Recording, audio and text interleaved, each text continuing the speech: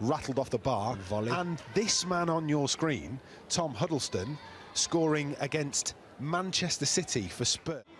Tom Huddlestone was still putting his shin pads in, so uh, comes onto the field for his first under 21s appearance of the season. I think what he'll, what he'll bring now. Here from Dibbly Diaz.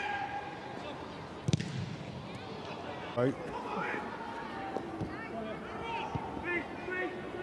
So well in my entire life. The noise that it made as it came off Paul Scholes' foot, then hit the bar, Yeah. and then ended up in the back of the net.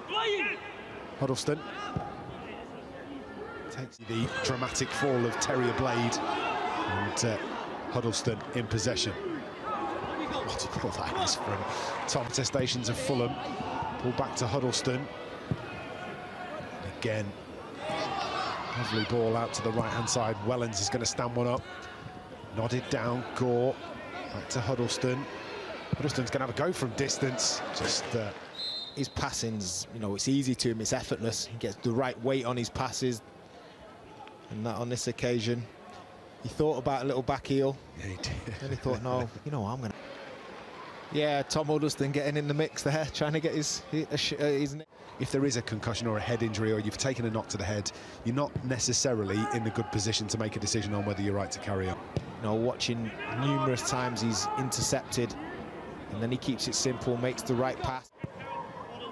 Huddlestone sets himself well and then ro just rolls a pass. It's so effortless for contact with it. I think what, what you get with him is, is the weight of pass and the angle of pass like that. Come on, he's, he's basically gone up, pushed up alongside Dan Gore to try and get higher up the pitch. That's a ball and a half from Huddlestone. Flicks off the head of That was an equaliser then. Huddlestone play this back to Aaron. Huddlestone. In close control. Beckett. Daria Henry. Good tackle from Tom Huddlestone. Judged to not be a good tackle.